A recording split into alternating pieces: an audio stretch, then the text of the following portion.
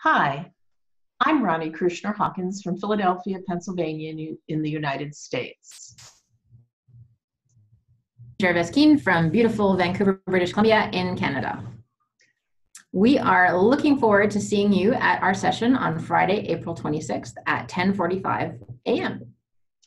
Jennifer and I will be talking about strategic integration of executive coaching, a key pillar of transformational leadership programming and training. We are really excited about sharing some of our lessons learned and our experiences about using coaching as the foundation for effective leadership learning, um, which obviously then will lead to transformational change. We really look forward to sharing with you some of our experiences and lessons learned from building this type of program and hope to open a dialogue with you. So, see you in Dublin. Look forward to meeting you. Jennifer? Can't wait to meet you.